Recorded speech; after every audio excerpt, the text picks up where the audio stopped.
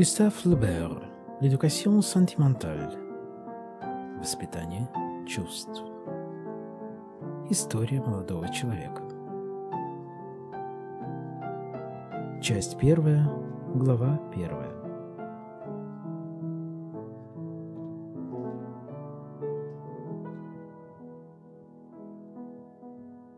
Около шести часов утра 15 сентября 1840 года пароход «Город Монтеро», выпуская густые клубы дыма, готовился отчалить от набережной Святого Бернара.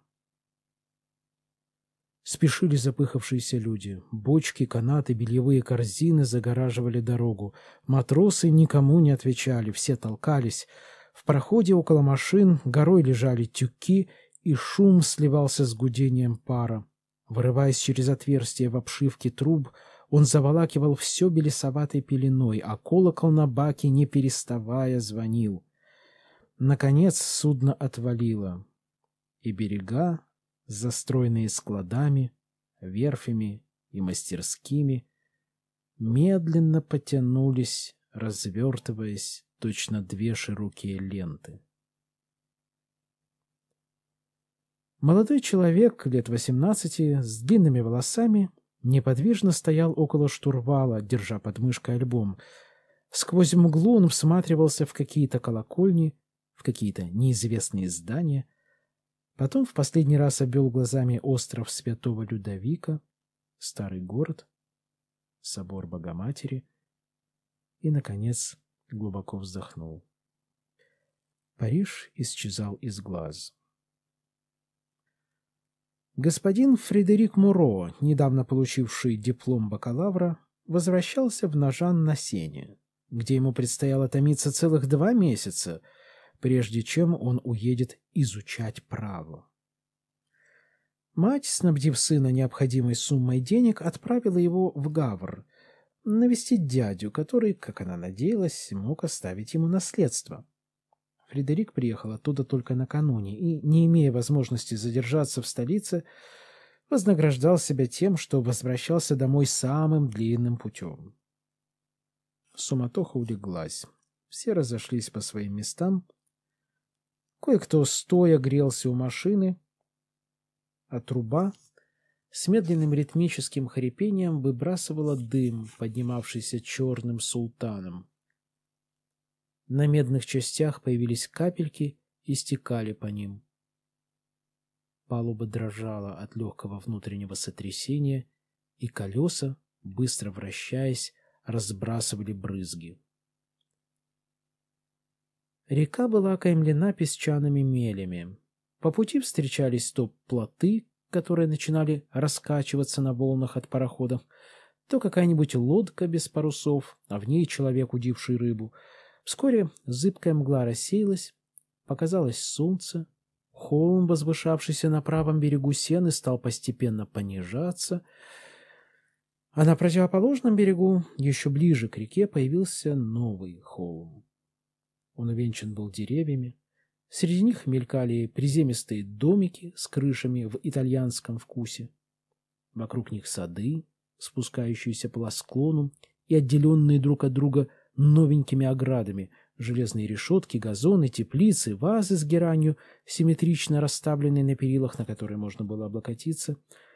Ни один путешественник, завидев эти нарядные приюты отдохновения, жалел, что не он их владелец — и рад был бы прожить здесь до конца своих дней с хорошим бильярдом, лодкой, подругой или каким-нибудь иным предметом мечтаний.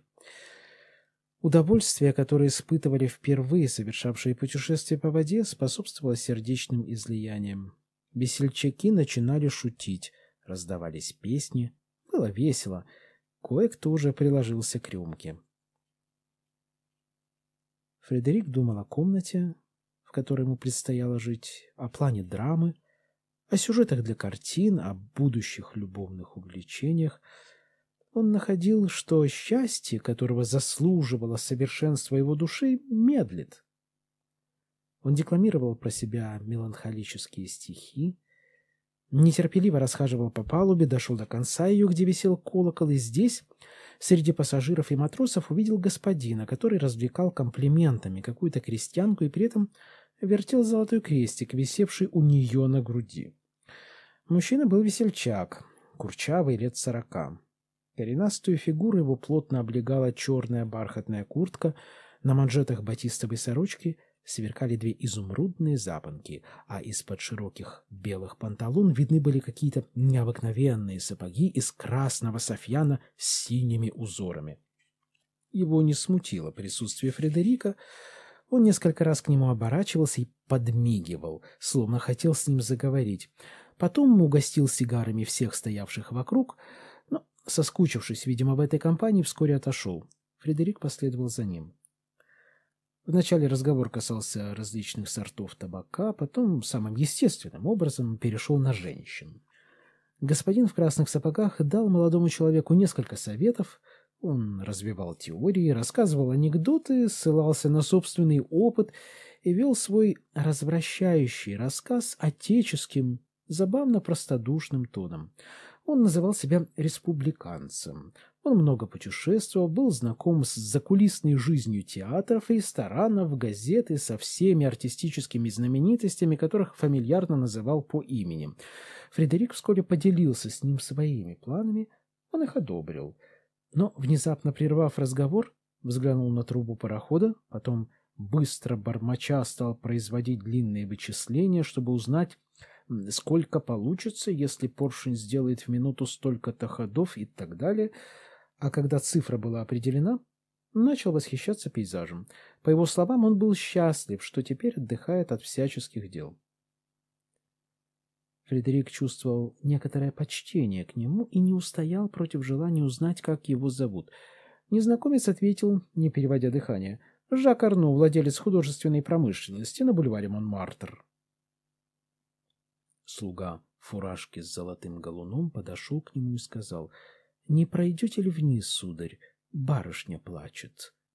Он исчез. В художественной промышленности, предприятии смешанном, объединялись газета, посвященная живописи, и лавка, где торговали картинами.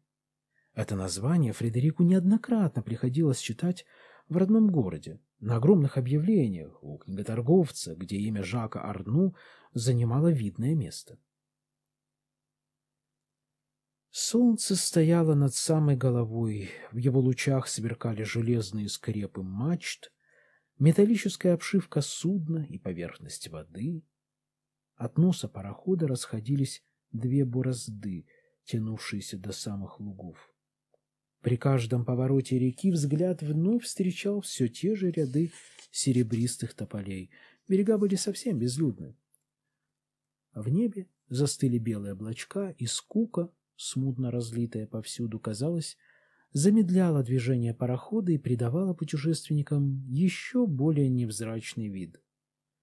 За исключением нескольких буржуа, ехавших в первом классе, все это были рабочие и лавочники с женами и детьми. В ту пору принято было похуже одеваться в дорогу, поэтому почти все были в каких-то старых шапках или выленивших шляпах, в обтрепанных черных фраках, истершихся за канцелярскими столами, или же в сюртуках, так долго служивших их владельцам за прилавков магазина, что продралась вся материя на пуговицах. Кое у кого под жилетом с отворотами виднелись коленкоровая рубашка, забрызганная кофе, Галстуки, превратившиеся в тряпку, были заколоты булавками из накладного золота, матерчатые туфли придерживались штрипками. Какие-то подозрительные личности с бамбуковыми тростями на кожаных петлях косились по сторонам, а отцы семейств таращили глаза и приставали ко всем с вопросами. Одни разговаривали стоя, другие, присев на свои пожитки, некоторые спали, забившись в угол, Кое-кто занялся едой. На палубе валялись ореховая скорлупа, окурки сигар, кожура от груш, обрезки колбасы, принесенные в бумаге. Три столяра, одетые в блузы, не отходили от буфетной стойки. Орфист в лохмотьях отдыхал, облокотившись на свой инструмент. По временам слышно было, как в топку бросает уголь, раздавались возгласы, смех — а капитан все время шагал по мостику от одного кожуха к другому. Чтобы пройти к своему месту, Фредерик толкнул дверцу в первый класс, потревожив двух охотников с собаками. И словно видение предстало ему. Она сидела посередине скамейки одна. По крайней мере, он больше никого не заметил, ослепленный сиянием ее глаз. Как раз когда он проходил, она подняла голову. Он невольно склонился, и только потом, когда сам занял место немного подальше, с той же стороны, что и она, стал смотреть на нее. На ней была соломенная шляпа с широкими полями и розовыми лентами, развивавшимися по ветру за ее спиной. Гладко причесанные черные волосы, собранные очень низко, спускались на щеки, касаясь кончиков длинных бровей, и словно ласковыми ладонями сжимали ее овальное лицо. Платье из светлой кисеи с мушками ложилось многочисленными складками. Она что-то вышивала. Ее прямой нос, ее подбородок, вся ее фигура вырисовывались на фоне голубого неба. Она продолжала сидеть все в той же позе, а он несколько раз прошелся взад и вперед, стараясь казаться равнодушным, потом остановился возле ее зонтика, прислоненного к скамейке, и притворился, будто следит за лодкой на реке. Никогда не видел он такой восхитительной смуглой кожи, такого чарующего стана, таких тонких пальцев, просвечивающих на солнце. На ее рабочую корзинку он глядел с изумлением, словно на что-то необыкновенное. Как ее зовут? Откуда она? Что у нее в прошлом? Ему хотелось увидеть обстановку ее комнаты, все платья, которые она когда-либо надевала, людей, с которыми она знакома, и даже стремление обладать ею исчезало перед желанием более глубоким, перед мучительным любопытством, которому не было предела. Подошла негритянка с косынкой на голове, ведя за руку девочку, довольно большую. Ребенок только что проснулся и был весь в слезах. Она посадила девочку к себе на колени. Девица плохо себя ведет, а ведь ей скоро уже семь лет. Мама ее разлюбит. Слишком часто прощаются ей капризы. И Фредерик радостно слушал. Точно все это было для него откровением. Уж не андалузка ли она родом или креолка? И не с островов ли вывезла ли она эту негритянку? За ее спиной на медной обшивке борта лежала длинная шаль с лиловыми полосами. Не раз, наверное, на море в сырые вечера она куталась в эту шаль, укрывая ею ноги, спала в ней.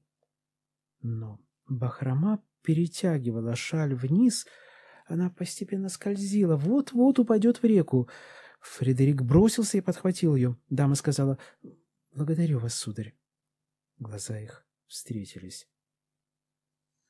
«Жена, ты готова?» — крикнул господин Арну, появляясь на лестнице. Мадемуазель Марта побежала к нему, повисла у него на шее и стала дергать за усы. Раздались звуки арфы, девочке захотелось посмотреть на музыку, и вскоре негритянка, посланная за арфистом, привела его в первый класс. Арну узнал в нем бывшего натурщика. К удивлению присутствующих, он стал говорить ему «ты». Но вот орфист откинул свои длинные волосы, вытянул руки и начал играть. То был восточный романс, где речь шла о кинжалах, цветах и звездах. Человек в лохмотьях пел обо всем этом пронзительным голосом, Стук машины врывался в мелодию, нарушая такт. Орфист сильнее ударял по струнам, они дрожали, и, казалось, в их металлических звуках слышны были рыдания и жалобы гордой, но побежденной любви. Леса, тянувшиеся по обоим берегам, спускались к самой воде. Проносился свежий ветерок. Госпожа Арну с рассеянным видом глядела вдаль. Когда музыка умолкла, она несколько раз сомкнула и разомкнула веки, словно пробуждаясь от сна. Арфист смиренно приблизился к ним. Пока Арну искал мелочь, Фредерик протянул руку и, стыдливо разжав ее над фуражкой музыканта, положил туда луидор. Не тщеславие побудило его подать эту милостыню на глазах у нее, а порыв души, почти благоговейный, к которому он мысленно приобщил и ее. Арну, пропуская его вперед себя, стал дружески уговаривать его пройти вниз. Фредерик уверял, что сейчас только позавтракал, а на самом деле он умирал от голода. В кошельке у него не было уже ни сантима. Но тут же он решил, что имеет право, как и всякий другой, находиться в каюте. Несколько буржуа, сидя за круглыми столами, уже ели. Между ними сновал официант. Супруги Арно расположились в глубине направо. Фредерик сел на длинный бархатный диванчик, убрав газету, лежавшую там. В Монтеро им предстояло пересесть в шалонский дилижанс. Их путешествие по Швейцарии рассчитано на месяц. Госпожа Арно упрекнула мужа в том, что он слишком балует ребенка. Он что-то шепнул ей на ухо, должно быть какую-нибудь любезность, потому что она улыбнулась. Потом он встал и задернул занавески на окне за ее спиной. Низкий белый потолок резко отражал свет. Фредерик, сидевший против нее, различал тень от ее ресниц. Она прикасалась губами к стакану, отламывала кусочки хлеба.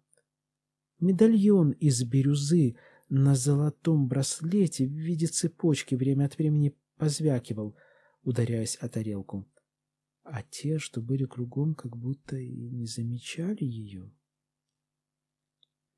Иногда в иллюминатор можно было увидеть борт лодки, причаливавший к пароходу, чтобы принять или высадить пассажиров.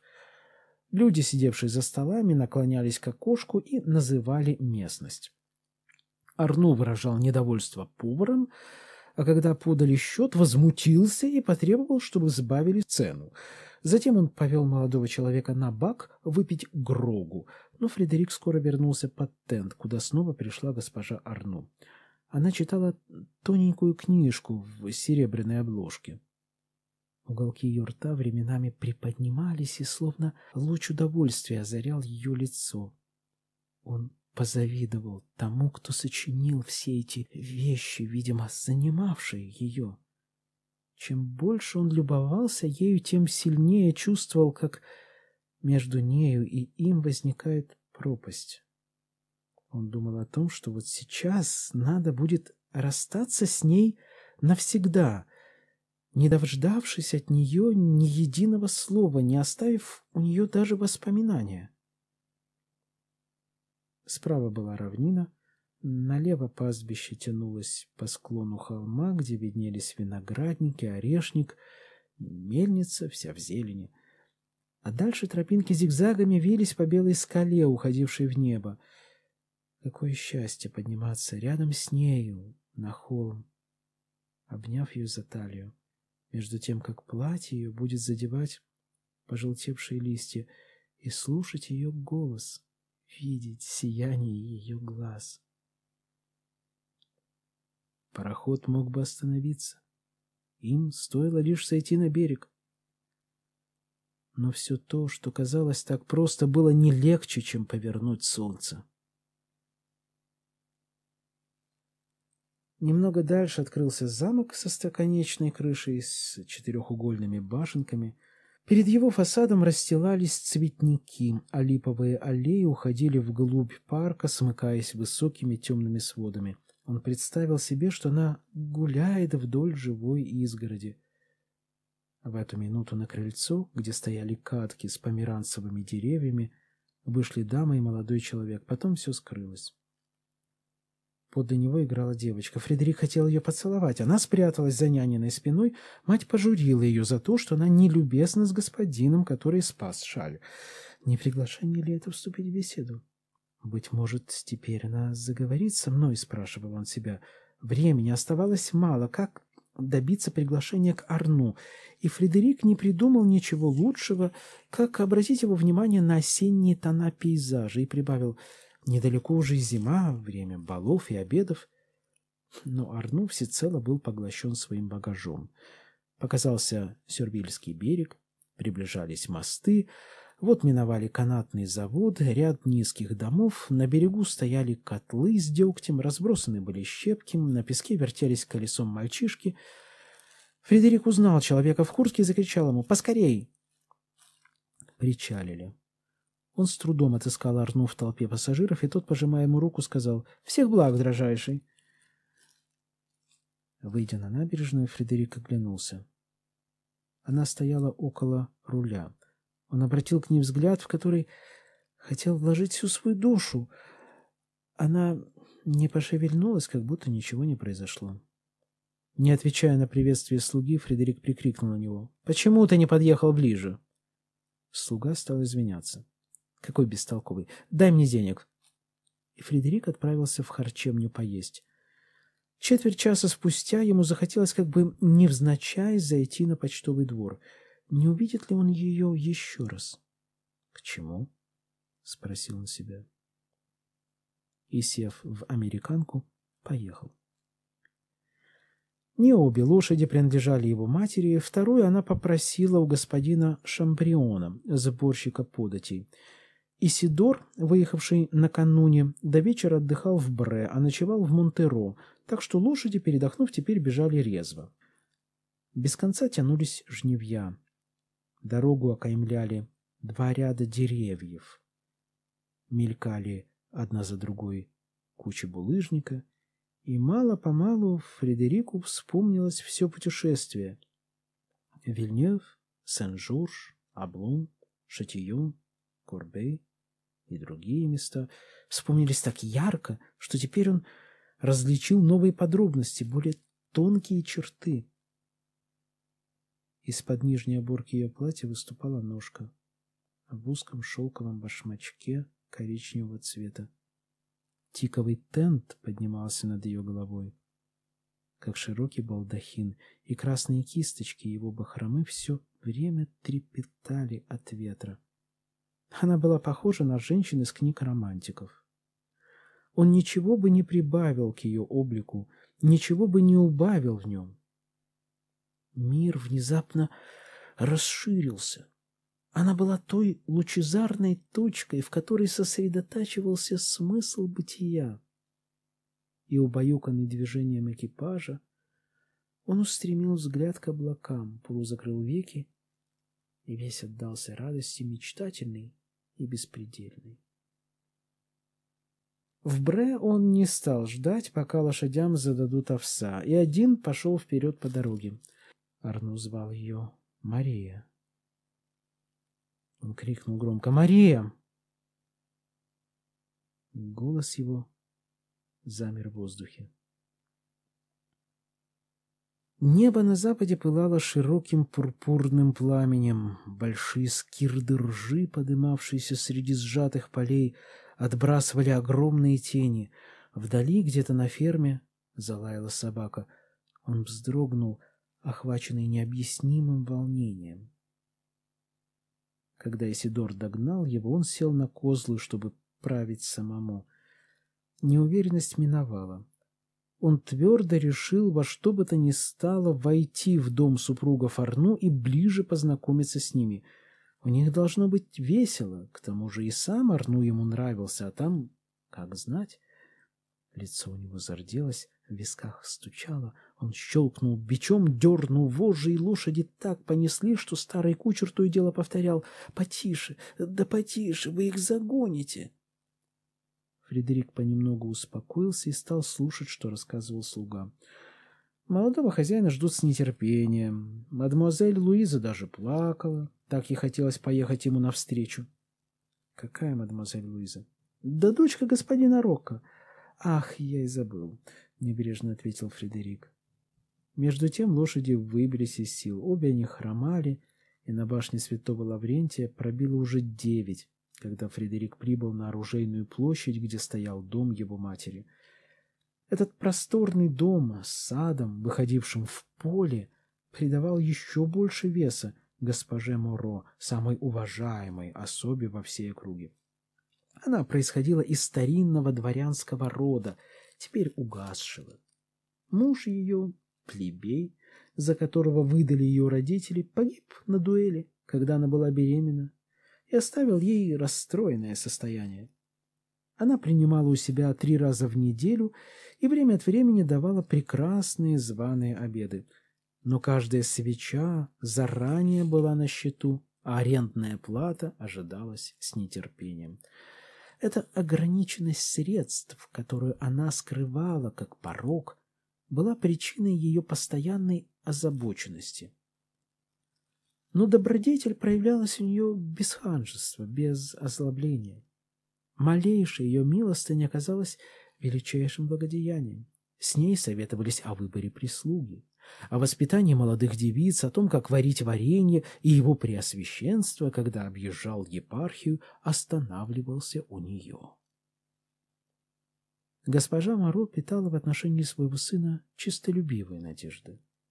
Она, как бы заранее принимая меры предосторожности, не любила, когда при ней порицали правительство. В первое время Фредерику необходима будет протекция. Потом, благодаря своим способностям, он станет советником, посланником, министром.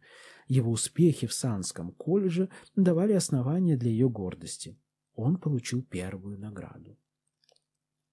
Когда он вошел в гостиную, все с шумом поднялись. Его стали обнимать, потом расставили стулья и кресла широким полукругом у камина. Господин Гамблен тотчас же спросил его, как он смотрит на дело госпожи Лафорж. Этот нашумевший процесс сразу же вызвал горячий спор. Правда, госпожа Муро, к сожалению господина Гамблена, прекратила его — Гость же видел в нем пользу для молодого человека, будущего юриста, и с обидой покинул гостиную. Впрочем, чему тут было удивляться, раз это приятель дядюшки Рокко? В связи с дядюшкой Рокком речь зашла и о господине Домбрёзе, который только что приобрел поместье Ла Фортель. Но Фредерико уже отвел в сторону сборщик подати, интересуясь его мнением о последнем труде господина Гизо. Все желали узнать, каковы дела Фредерика, и госпожа Бенуа ловко приступила к расспросам, справившись о здоровье дядюшки. Как поживает этот милый родственник? О нем что-то ничего не слышно. А ведь у него есть в Америке троюродный брат. Кухарка доложила, что господину Фредерику подано кушать. Гости из скромности удалились. А когда мать и сын остались одни, она в полголоса спросила, «Ну что?» Старик принял его очень сердечно, но своих намерений не открывал. Госпожа Мороз вздохнула.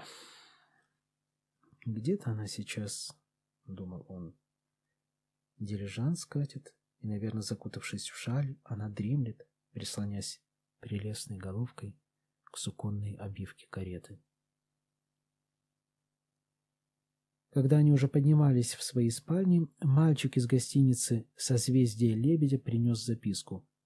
«Что такое?» «Деларье просит меня выйти к нему», — ответил Фредерик. «А, твой товарищ», — с презрением усмехнулась госпожа Моро. «Нашел время, право». Фредерик был в нерешительности, но дружба пересилила. Он взялся за шляпу. По крайней мере, не уходи надолго, — сказала ему мать.